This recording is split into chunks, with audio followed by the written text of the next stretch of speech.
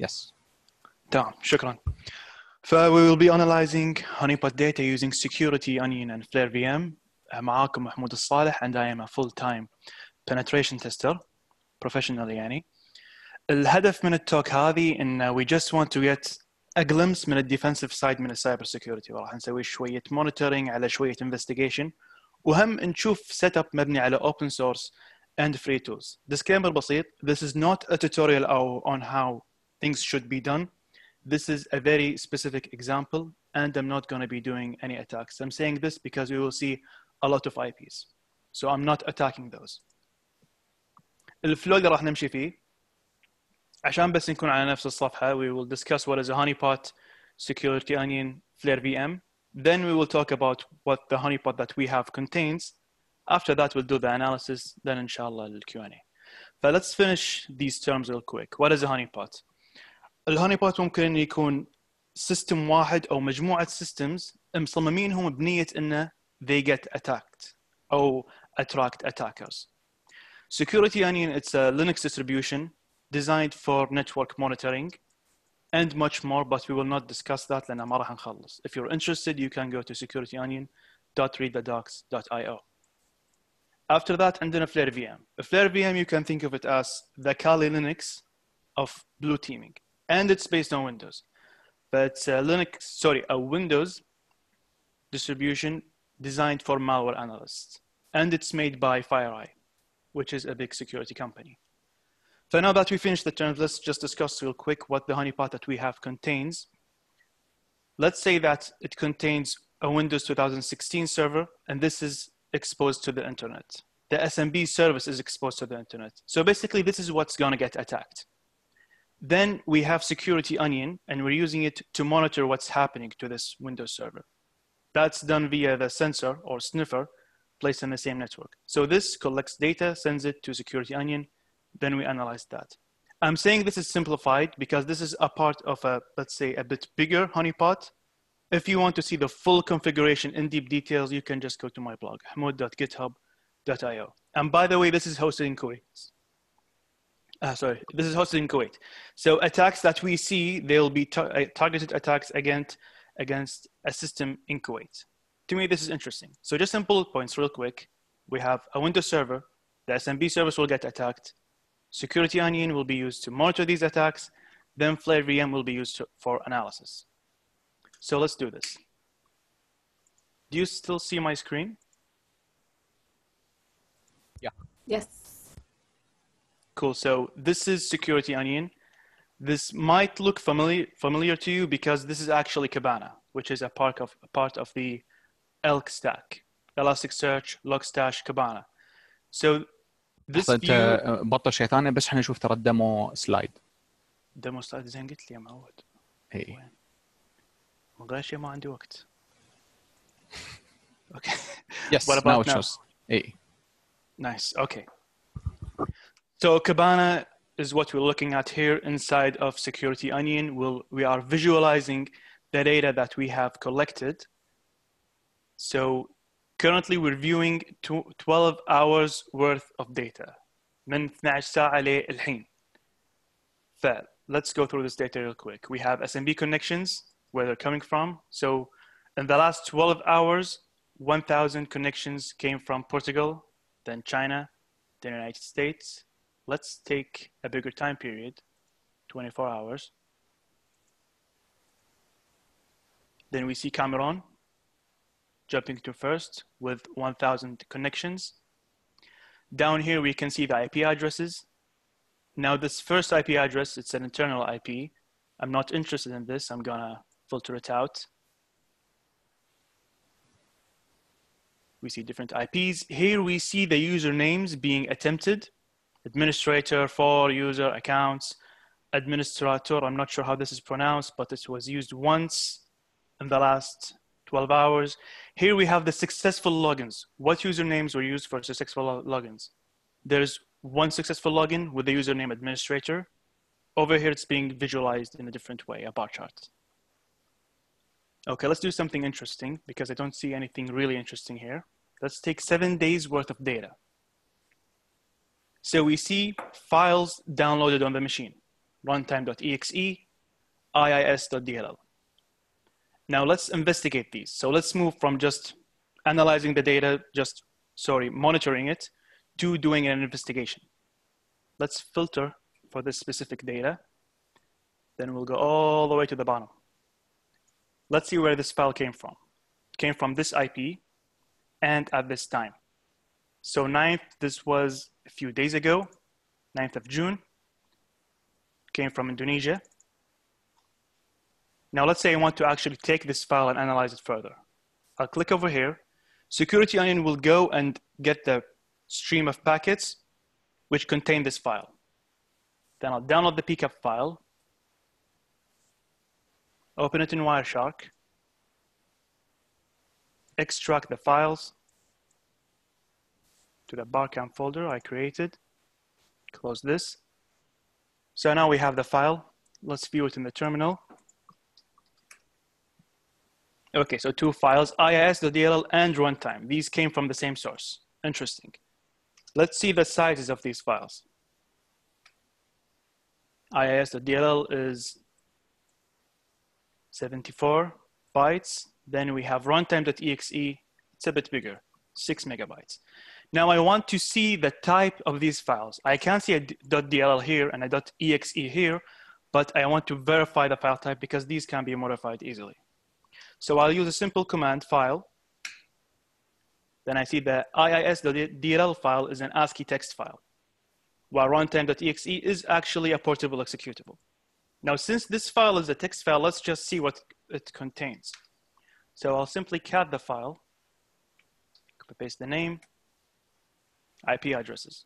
Now you need to know that this was a real attack. This is not me doing a demo. This is the honeypot having malicious files dropped on it.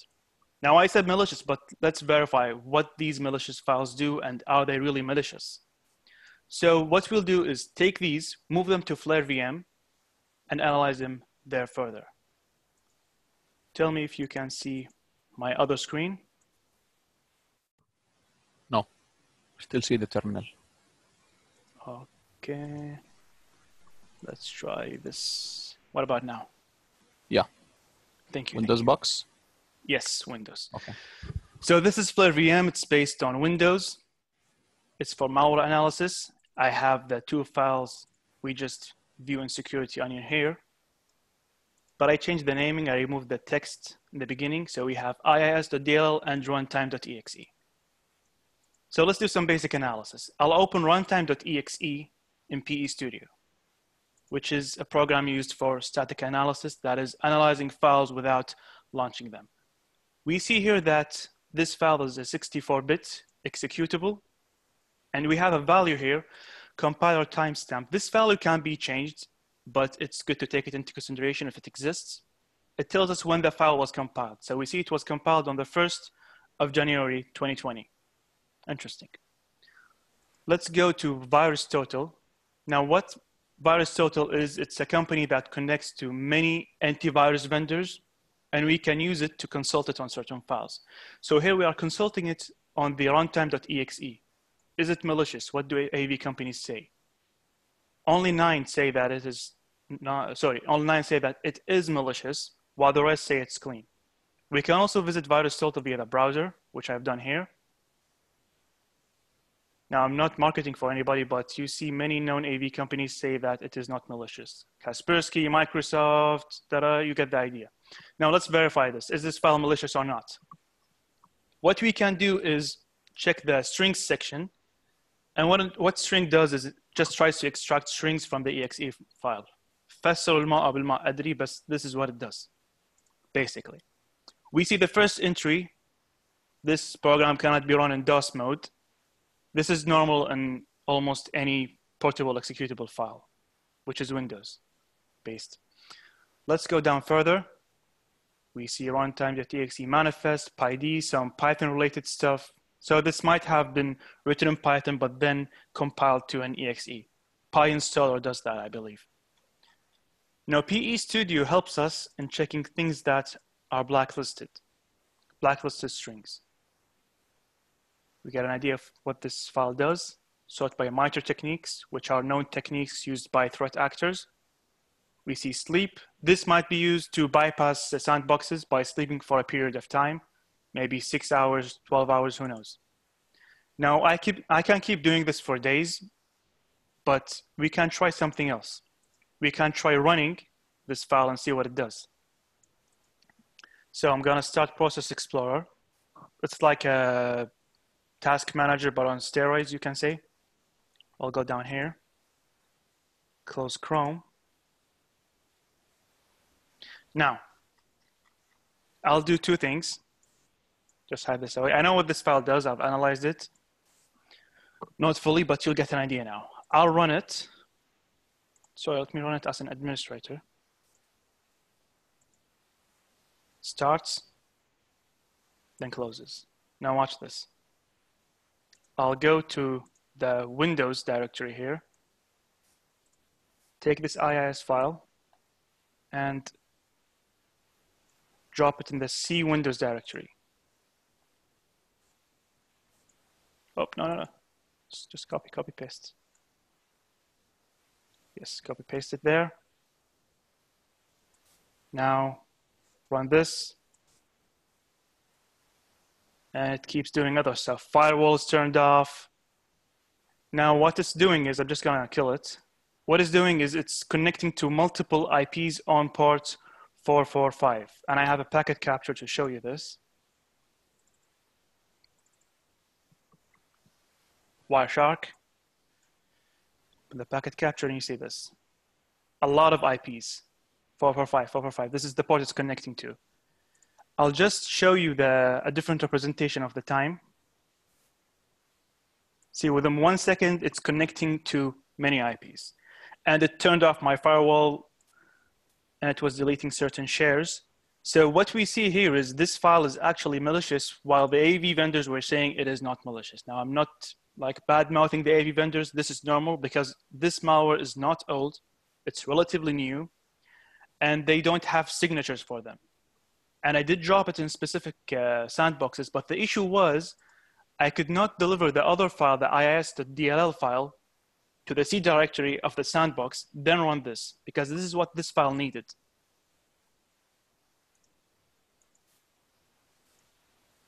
And that's it. I will end my talk here. I just want to thank uh, Barcamp, Majid, and uh, Shema. You still have three more minutes. Minutes. Then I can do something else if the attendees are interested.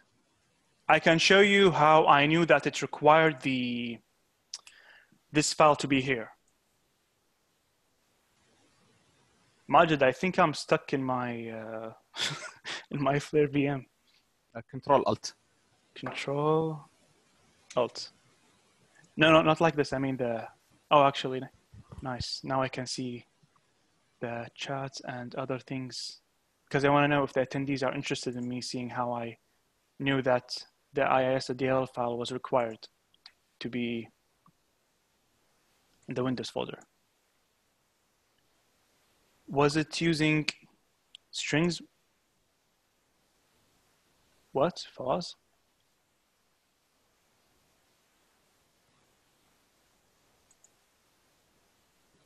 C Windows name.dll. What is this? No, I knew that it required the IIS file by uh, running the malware and checking which files it's checking. White onions don't make you cry. This one might. I I like that. uh, this was scary. Doesn't show anything obvious being done on your PC. It will be really slow. It will be really slow. Your PC will be really slow. It's why I killed it right away. Ah, okay. What files? I can answer this by actually showing you. Let me just change my share. Okay. So I'll remove this is.dll, okay. Throw it on my desktop. Then I'll open procmon64. This is part of the sysinternals suite. Pause it. Hope it doesn't crash. It crashes on me a lot. So I'll add a filter here in process monitor, which is procmon. I'll filter specifically by process name and enter runtime.exe.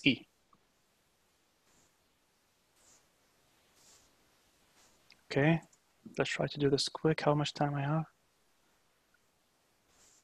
Keep going. I'll stop you when it's late.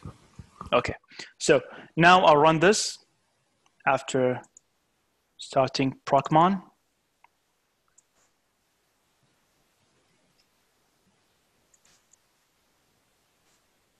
Okay, so runtime.exe already got stopped. Now I'll filter here by name not found. Include name not found. So here I can see anything that the malware did not find. Uh, registry queries that returned name not found, uh, files it tries to access. And this is where we will find the iis.dll file, which is here.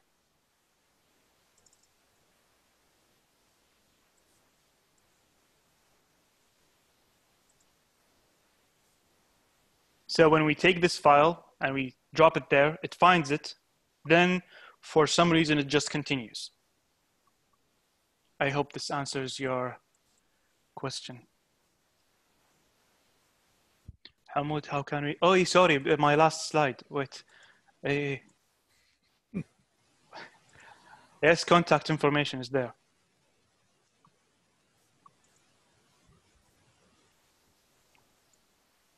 Again, thank you, Barcamp.